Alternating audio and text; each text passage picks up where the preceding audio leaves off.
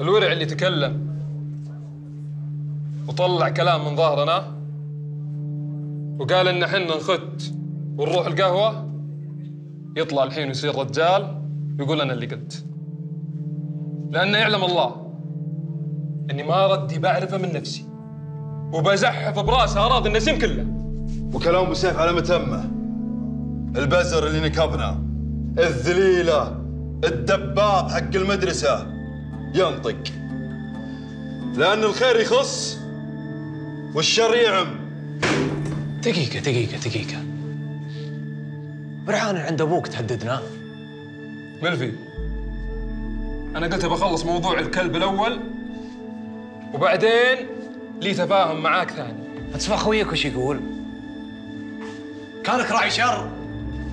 ترى ما إحنا قليلين شر. اظنك عارف زين من البارح ولا لا؟